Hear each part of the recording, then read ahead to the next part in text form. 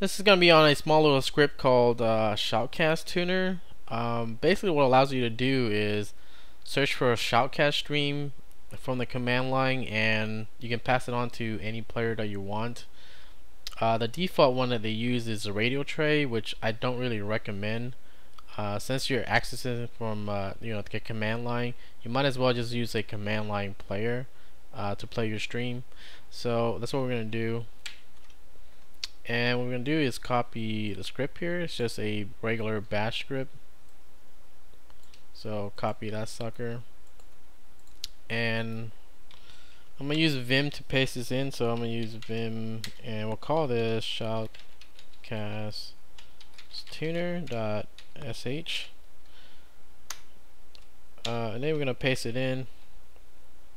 And if you want to you know put this like me like how I have it set up um, like I said the default way that they have is they have the radio tray which doesn't really make sense because you have you know this program or, or this script is from the command line and then you open a GUI to to listen to it um, and radio tray only works on GNOME because it's a little applet on your indicator um, so you can't really use it on like other uh, was that desktop environments.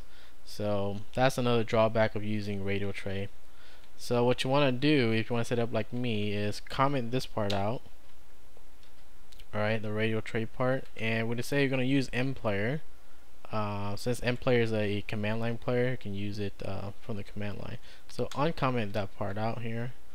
And the pgrep down here again this one is radio tray so you want to comment that part out and everything else the code in here you don't need to change. So we're gonna save it. And make sure you chmod plus x uh, the script to give it permissions otherwise it won't run right? And from here you can go dot slash you know the shoutcast script.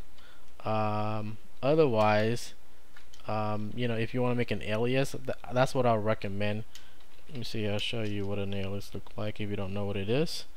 Uh, what is it? Shoutcast right it'll look something like this if you want to type in your own alias into your bash rc file. So just say shoutcast and then you give it a name and then you point it to your script right? Basically that's what that is.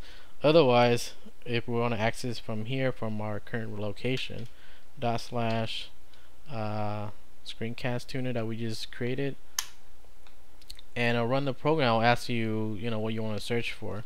So let's say I'm searching for jazz or something. And it'll give me I think about 10 channels or 10 streams uh, max. I like it like that because I don't want them to flood with you know with all the channels that they have uh, just the top 10 or something like that.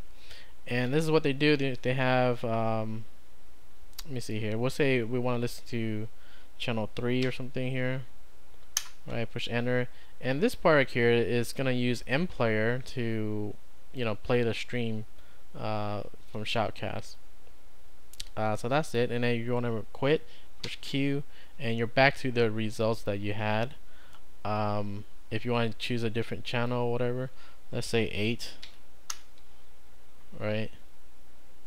And there you go it keeps playing that. Um, they do have what is this part here uh, was it the title part here? If you want to know what the title is um, there you go. But uh, they do have other options like quit and search again which is the always the last two. So if I push 11 and I want to search for something else like I don't know soft 90s or something like that if they have any. Uh, they don't have that. Let's just say 90s if they have any 90s there you go and you can listen from there if you want. Otherwise uh, we're just gonna quit right? And I'll say goodbye and that's the end of the program. So that's the reason why you know you should use mplayer with this instead of radio tray um, because you can actually use this with other desktop environments.